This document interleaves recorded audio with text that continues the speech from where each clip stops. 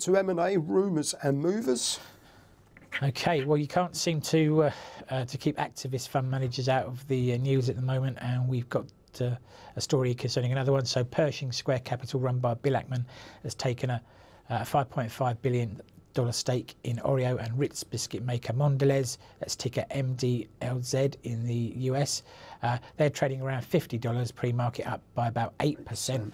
Um, so that's about 7.5% uh, stake in the company that uh, Ackman's taken, and that includes some stock, some options, and some CFDs and forward contracts. He's likely to push for faster revenue growth, cost cuts, or an outright trade, trade sale, sale, business. okay. Um, the one barrier to an outright trade sale really would be Mondelez's you know, significant market cap, which is around 73 billion US dollars. Um, so it'd probably be on the reach of many players. Um, private equity might get involved, but uh, one one um, trade name that could be interested or could perhaps rustle up the cash is uh, Kraft Heinz. That's ticker KHC.